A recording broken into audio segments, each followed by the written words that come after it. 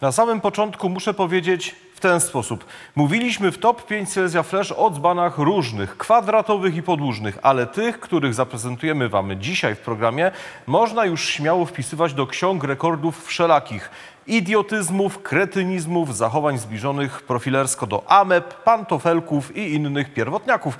I uwaga, tu zaskoczenie, to wcale nie było o politykach. O kim? O tym już za chwilę w top 5 Silesia Flash. Wojtek Żogolewski, zapraszam na program.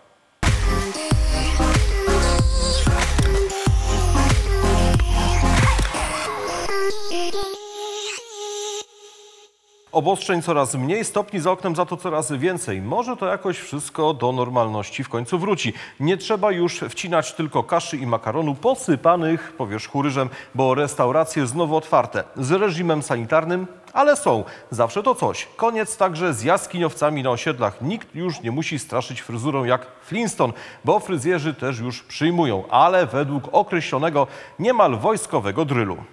Szczerze mówiąc, do pewnego momentu nie wymagały moje włosy jakiejś specjalnej pielęgnacji czy układania, bo jeżeli jestem dobrze, dobrze mam fryzurę po prostu zrobioną, no to nie było takich problemów. Jednak ostatni miesiąc po prostu włosy spinałam, a odrost ratowałam sprayem maskującym, no i jakoś dałam radę. A dziś cieszę się bardzo, że mogłam tutaj być jako praktycznie pierwsza klientka. Bardzo mocno się rozdzwonił, także nasza recepcjonistka miała sporo pracy. Na szczęście miała telefon cały czas przy sobie, zapisywała naszych klientów, ale były też maile, smsy, wiadomości na Messengerze, więc e, no naprawdę wszyscy czekali na ten e, dzisiejszy dzień, żebyśmy mogli e, przyjąć tych klientów, obsłużyć ich i sprawić, żeby oni się poczuli lepiej. Telefon się rozdzwonił już w środę, jak już wszystko było wiadomo, że wreszcie wracamy do pracy.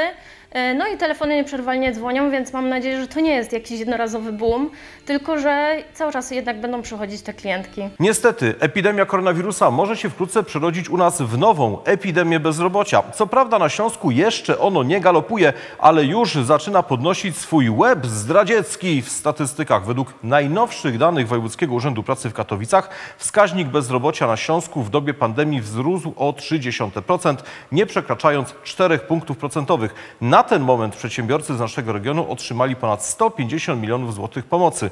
Głównie chodzi o dofinansowania pensji pracowników oraz utrzymanie miejsc pracy. I to tyle pozytywów, bo mimo pomocy sytuacja już jest dramatyczna.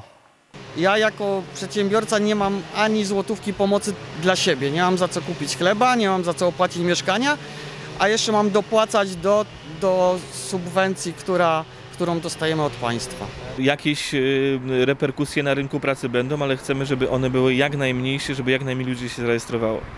Obecnej chwili, jeżeli chodzi o rynek zagraniczny, no to Polacy bardzo się tym interesują, ze względu na to, że wielu, wielu z nich potraciło lub zawiesiło firmy i po prostu w tym okresie szuka gdzieś, e, że tak powiem, szybkich pieniędzy do odzyskania e, swoich e, jakichś oszczędności i tego, co po prostu stracili. Koronawirus puścił z dymem także plany ratowania kultowego miejsca w Katowicach. Miejsca do ratowania którego także Top 5 Silesia Flash chciało przyłożyć swoją medialną cegiełkę.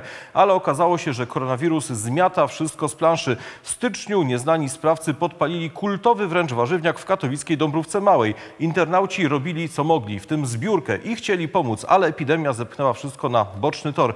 Mieszkańcy dzielnicy do dziś nie mogą odżałować, że zniknęło jedno z ulubionych miejsc, w których robili zakupy. Teraz zapadła bowiem decyzja o rozbiórce kiosku, który dla wielu był czymś o wiele więcej niż tylko sklepikiem z zieleniną.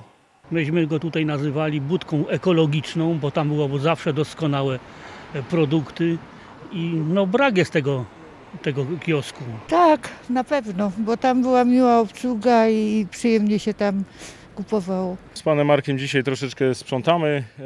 E, Już od jakiegoś czasu, od jakiegoś czasu były przymiarki do tego. Niestety COVID nas troszeczkę przegonił.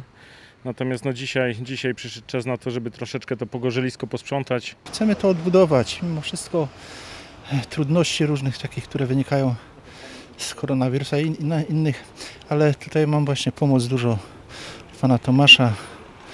E, od ludzi zbiórkę robimy, bo samemu to jest trudno, chodzi o sprawy finansowe i chcemy to najpierw rozebrać i sukcesywnie po prostu odnowić całkowicie. Trochę większa zbiórka byłaby potrzebna, żeby władze ruchu Chorzów mogły powiedzieć jesteśmy na zero. Na razie na zero niebiescy są z meczami, bo sezon został skasowany. Nie zgadniecie. Tak, przez koronawirus. I tu powstał problem, bo karnety na mecze już sprzedane. I w tym momencie wjeżdżają kibice ruchu. Cali na biało, znaczy na niebiesko. I mówią, ej, co wy tam na tej cichej gadacie? Nic nam nie oddawajcie. Fani postanowili w ten sposób pomóc klubowi. Ba, niektórzy chcą nawet karnetów jeszcze dokupić. Na pewno jest to jakieś wsparcie, ten cały proces zwrotów na pewno by klub troszeczkę kosztował, tak? No bo trzeba powiedzieć, że te pieniądze pewnie już w jakiś sposób zostały e, wydane czy zabudżetowane, no a te zwroty na pewno by doprowadziły do jakiejś tam sytuacji niezbyt komfortowej. Tacy kibice to skarb. No myślę, że takie zachowanie, e, wiadomo, był może jakiś tam problem, czy jak to rozwiązać.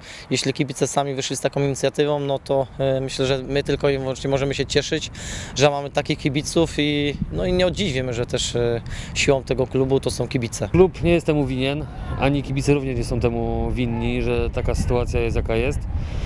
E, No ale stawia to nas w takim trudnym położeniu, bo jest to tru, trudny temat, e, jak tą kwestię rozwiązać. Dlatego tutaj od, od kilku dni usilnie nad tym debatujemy, jakie tutaj rozwiązanie przyjąć, tak żeby, żeby każdy był zadowolony. O ile postawa kibiców z Chorzowa powinna być nagradzana takimi brawami jak walka medyków z koronawirusem, to to, co robią niektóre dzbany w Katowicach, to jest po prostu dno i trzy metry mułu.